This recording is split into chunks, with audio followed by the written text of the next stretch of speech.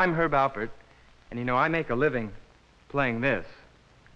But this pen could really take care of my future if I use it right. I mean by signing up for United States savings bonds. Millions of people do, where they work or bank. You know, I think I just talked myself into it.